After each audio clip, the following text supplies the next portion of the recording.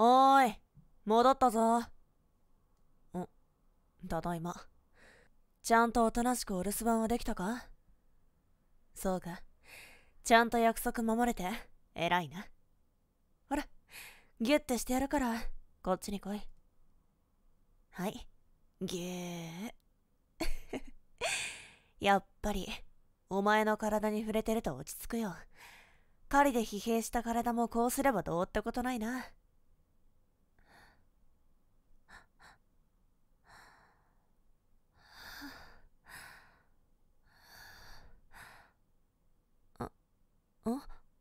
あ、ああ、いや、すまない。ちょっとくっつきすぎたな。ああ、そうだ。今日はいい獲物が取れたんだ。これぐらいの大きさのイノシシでな。これで当分の食料も持つし、今日は久々のごちそうにしようか。喜んでもらえて何よりだよ。ほら、それじゃ、私は料理してくるからちゃんと待ってるんだよ。ごちそうさま。美味しかったね。そう言ってもらえるだけで狩りをしてきた甲斐があるよ。んもう寝るのか？あ、あ、いや、その、ダメってわけじゃないんだが、なんというか、あれだよ、あれ。もう、今日の私、様子が変なんだ。朝から君の顔を見るだけで顔が赤くなっちゃうし、さっきだって、君に抱きついた時、君の匂いを嗅がずにはいられなかった。ずっと体がうずいて仕方がないんだ。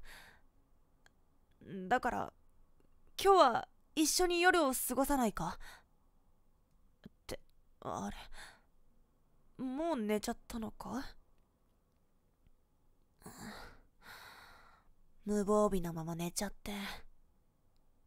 今無理やり君のことを襲ったら。あ、いや、眠ってる間になんてダメだよな。けど、もう我慢が。ダメだ。ダメ。理性を保つんだ。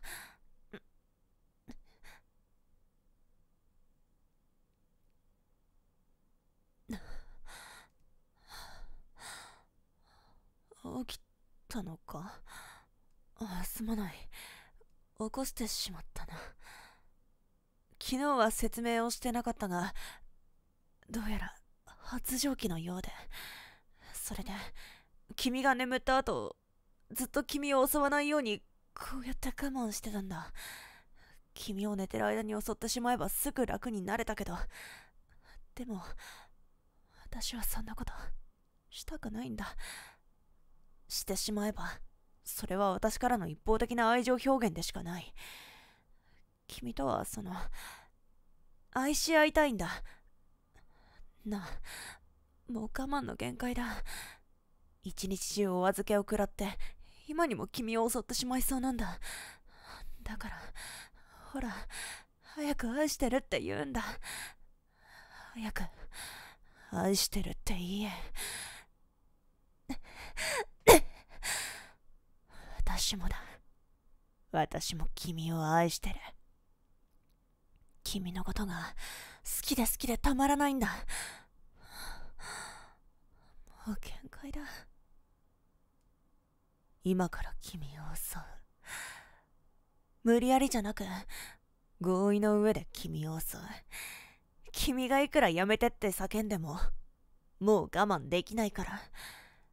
一日お預けした分、君をめちゃくちゃにしてやる。